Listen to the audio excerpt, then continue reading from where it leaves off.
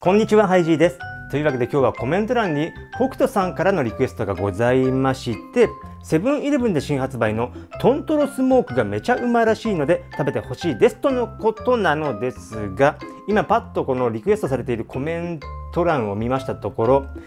4つ見えるじゃないですか、コメントが。で、あややさんはいいですよ。チーズとソーセージの程よい塩分に粒マスタードも加わり美味しさが伝わりましたっていうのはいいんですけれどもツナ昆布さんと工藤新一さんがもうね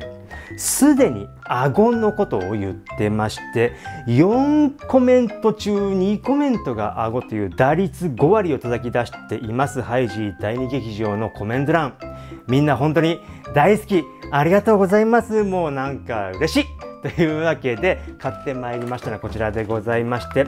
黒胡椒を効かせたトントロスモークというものでセブンイレブンに買いに行ったんですけれども結構やっぱ押してる感がありまして可愛らしいポップも貼られていましたし買う時にさ店員さんがさ温めますか？って聞いてくれたんですよ。で僕はいいですよ。家で食べるんでって言った時に店員さんがいやこれ実はね温めなくてもね冷たいままでも美味しいやつですからもしよかったら一つ開けて一個だけつまみ食いしちゃってくださいみたいなこと言ってくれましてなんてほっこりしちゃうんだろうと。僕もそこで「あわかりました。やってみます」って言っちゃったのでやってみましょう。なんか本当にそういうフレンドリーな店員さんの一言がさこっちのテンション上げてくれてその日一日なんかさニコニコ過ごせちゃうっていうのがあって嬉しかったなって思うんですけれどもよいしょああちょっとちょっと途中から切れちゃった。このくらいはいいでしょう。でこうちょっとちょっとこうパラパラパラ。あ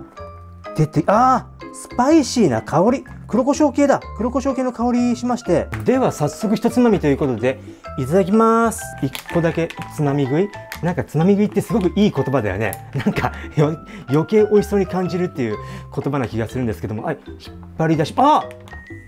ああこんな長いの？こんな長いのがどんくらい入ってるのかっていうのはまだ分かりません。定かではございませんけれども。48g162 キロカロリーのものでございまして。じゃあ早速いっちゃいましょうかっていうかもうこのラインラインがすごく似合ってる感じもする？うん。うん。うまっ。あうまっ。あうまっ。すんごい美味しい。香りもいい香り高くて味付けはやっぱり濃いめしょっぱめですので塩分どのくらいなんでしょうね。塩分はそこそこある 1.5g 食塩相当量っていうものでございますのでやっぱり確かにビールとか飲まれる方はすんごいいいあてになるんだろうなっていう味付けでございますが実は僕はそういう居酒屋飯とかもお酒なしで楽しめる方なので余裕です。ホタルイカのお気づけを散々食べたりしますから居酒屋とかに行って超美味しいからなんかあれ。でこれレンジでね40秒600ワット40秒でいいそうなのでもうパパパッと温めちゃいましょう。いや楽しみというか今の冷たいまんまのものでずっと行きたくなっちゃうようなすごい素敵な味わいだったんですけれどもなんかパチパチ言い過ぎじゃないこれ。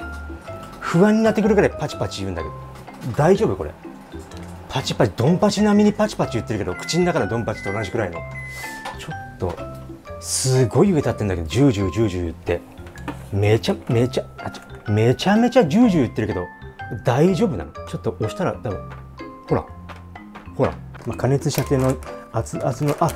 け結構入ってる。結構入ってるね。でなんか温めたら縮んで端っこにあの恥ずかしがり屋さんなのかな？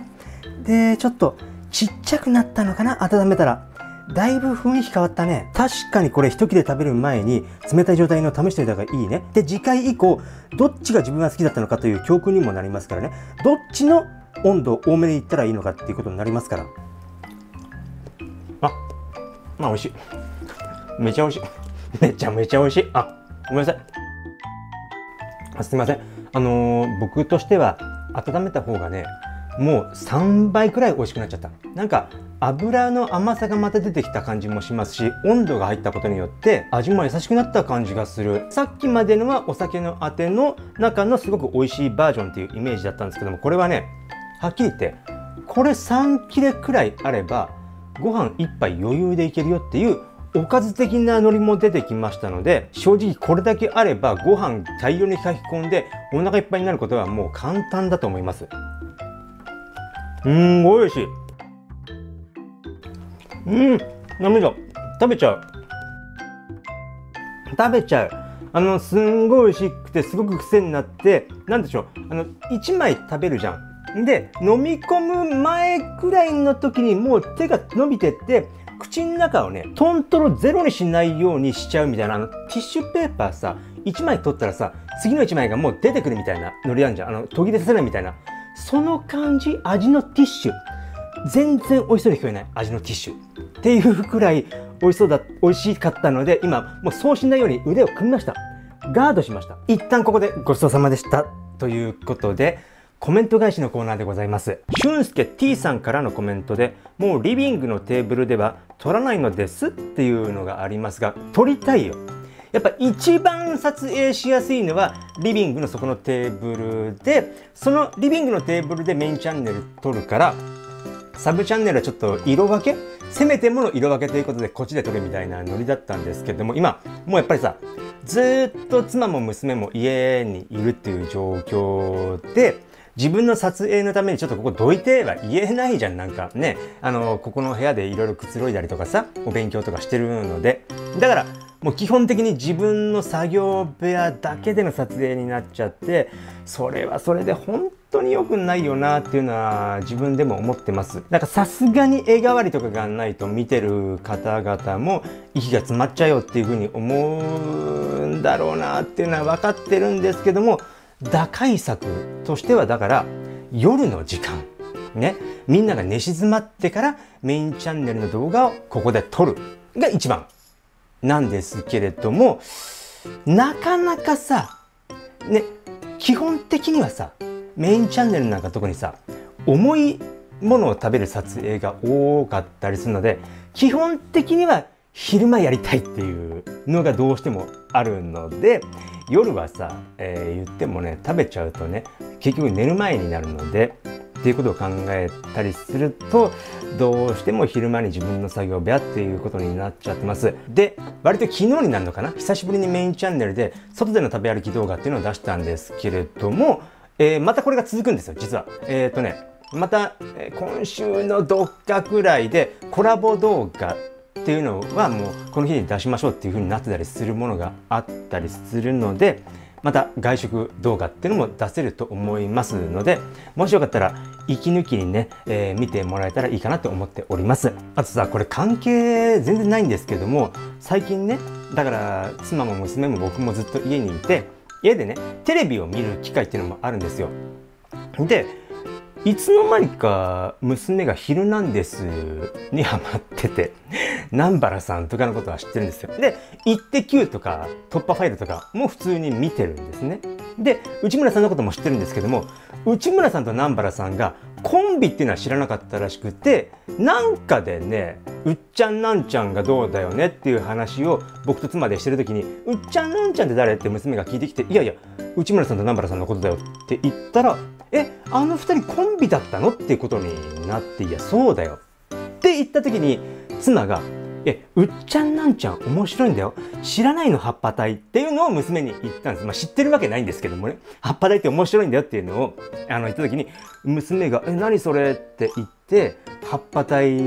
をね見てすっごい面白くてハマっちゃってるんですけども今葉っぱ隊に。たださ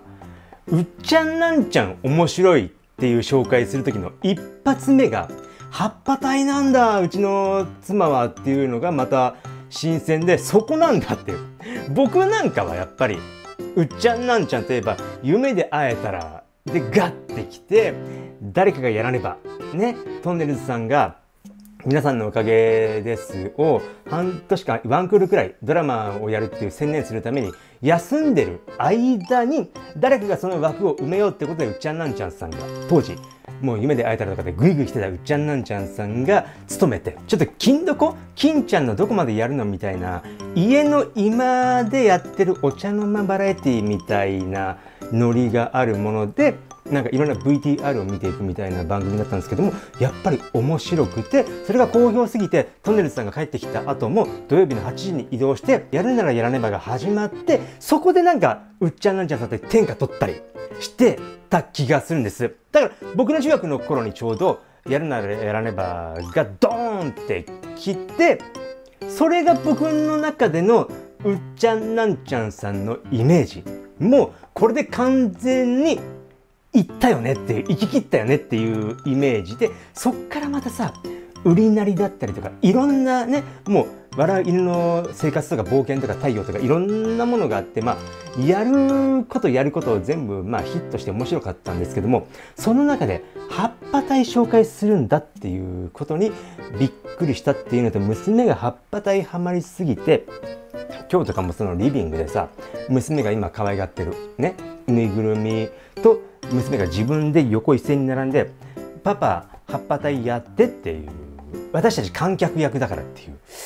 感じのことでまさか僕がこのこの44歳になって葉っぱ隊を全力でリビングで